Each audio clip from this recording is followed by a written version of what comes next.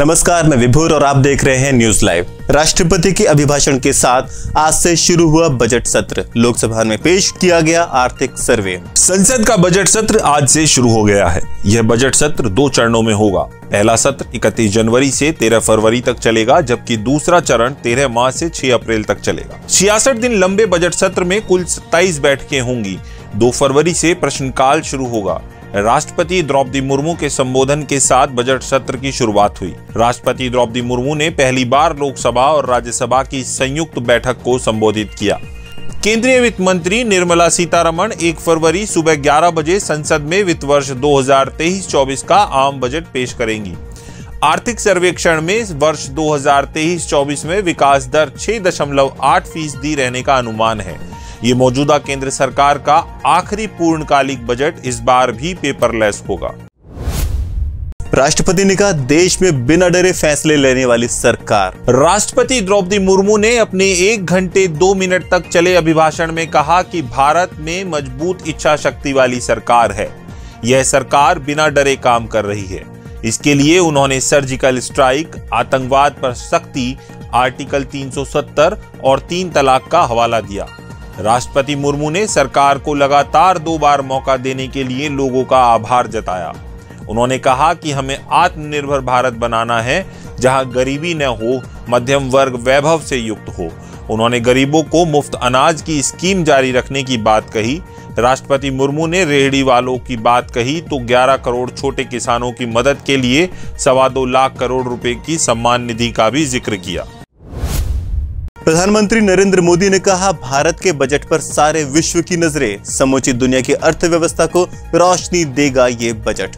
प्रधानमंत्री नरेंद्र मोदी ने कहा कि भारत के बजट पर सारे विश्व की नज़रें हैं और ये समूची दुनिया की अर्थव्यवस्था को रोशनी देगा। पीएम मोदी ने कहा कि इस बजट पर न केवल भारत, बल्कि विश्व का भी ध्यान है। यह बजट डावाडोल होती दुनिया की अर्थव्यवस्था को भी प्रकाश देगा। मुझे उम्मीद है निर्मला जी हर उम्मीदों पर खरी उतरेंगी। हमारा एक ही विचार है, सबसे पहले देश होता है, सबसे पहले देशवासी। बजट सत्र में तकरार भी रहेगी और तकरीर भी होगी। सदन हर मुद्दे पर बहुत अच्छी चर्चा करेगा। सभी सांसद पूरी तैयारी के साथ इस सत्र में हिस्सा लेंगे। यह सत्र हम सभी के लिए महत्वपूर्ण होगा। हाईटेक अंदाज में होगा दिल्ली मुंबई एक्सप्रेस वे का सफ़र। पीएम मोदी 4 फरवरी को करेंगे उद्घाटन। 4 फरवरी को देश के प्रधानमंत्री नरेंद्र मोदी दिल्ली मुंबई एक्सप्रेस वे का उद्घाटन करने जा रहे हैं। जर्मन टेक्नोलॉजी बेस्ड यह एक्सप्रेस वे इतनी एडवांस है कि अब दिल्ली से मुंबई का सफ़र आधा हो जाएगा। इसके अलावा दूरी कम होने की वजह से फ्यूल भी कम लगेगा। आठ लेन वाली यह एक्सप्रेस देश की पहली एनिमल पास और स्ट्रेचेबल हाईवे है, जहाँ ज़रूरत पड़ने पर इस एक्सप्रेसवे को 12 लेन में बढ़ाया जा सकता है। वहीं जानवरों को रोड पास करने के लिए जगह जगह पर एनिमल पास बनाया गया है। ताकि जानवर सड़कों पर न आ सके और संभावित दुर्घटना से बचा जा सके। आपको प्रत्येक 100 किलोमीटर पर एक ट्रॉमा सेंटर मिलेगा, जहाँ इमरजेंसी के दौरान जरूरतमंदों का इलाज हो सकेगा। वहीं दिल्ली से मुंबई तक पूरे तिरानवे जगहों पर स्टॉपेज सुविधा मिलेगी, जहाँ यात्री गाड़ी को ठंडा कर सकते हैं, रेस्ट और जलपान भी कर सकते हैं। दिल्ली से मुंबई तक जाने में हर 50 किलोमीटर पर एक स्टॉपेज ज़रूर मिलेगा। डॉक्यूमेंट्री विवाद पर रशिया ने दिया भारत का साथ। ब्रिटिश मीडिया पर बड़ा आरोप। रूस ने एक बार फिर साबित किया है कि वह भारत का असली दोस्त है। ब्रिटिश प्रसारक बीबीसी की विवादास्पद डॉक्यूमेंट्री के खिलाफ रूस ने खुलकर भारत का पक्ष लिया है।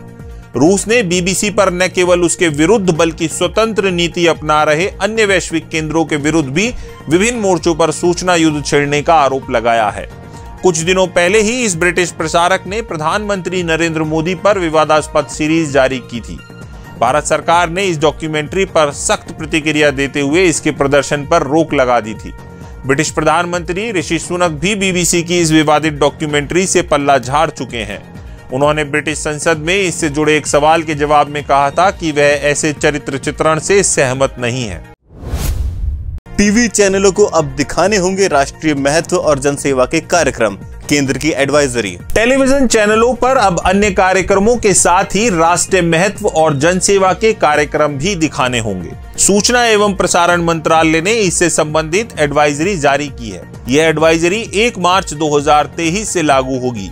इस एडवाइजरी में एक ई पोर्टल बनाने की बात भी कही गई है, जहाँ राष्ट्रीय महत्व के कार्यक्रमों का वीडियो साझा किया जा सके। मंत्रालय के मुताबिक उसने कई ब्रॉडकास्टर्स और चैनलों की एक एसोसिएशन के साथ कई दौर की बातचीत के बाद यह फैसला लिया है। मंत्रालय के अनुसार कार्यक्रम की अवधि 30 मिनट की होना आवश्यक रखा गया है। सचिन तेंदुलकर करेंगे महिला अंडर 19 टीम विश्व विजेता खिलाड़ियों को सम्मानित। जय शाह ने किया ऐलान। महिला अंडर 19 टीम ने टी ट्वेंटी वर्ल्ड कप का खिताब अपने नाम किया था। अब भारतीय क्रिकेट कंट्रोल बोर्ड की ओर से विजेता टीम के खिलाड़ियों के लिए सम्मान समारोह का आयोजन हो रहा है। सम्मान समारोह भारत और न्यूजीलैंड के बीच एक फरवरी को अहमदाबाद में होने वाले तीसरे टी मैच की शुरुआत से पहले होगा। खास बात यह है कि खिलाड़ियों को मास्टर ब्लास्टर सचिन तेंदुलकर के हाथों सम्मान मिलेगा। जय शाह ने ट्विटर पर लिखा कि हमें यह बताते हुए बहुत खुशी हो रही है कि भारत रत्न सचिन तेंदुलकर और बीसीसीआई के पदाधिकारी विजयी इंडिया अंडर 19 टीम को एक फरवरी के दिन नरेंद्र मोदी स्टेडियम में सम्मानित करेंगे। युवा क्रिकेटरों ने भारत को गौरवान्वित किया है और हम सब उनकी उपलब्धियों का सम्मान करेंगे। आज के लिए इतना ही। कल फिर मिलेंगे देश और दुनिया की नई ताज़ा तरीन जानकारियों के साथ। तब तक के लिए देखते रहिए और सब्सक्राइब कीजिए आई मीडिया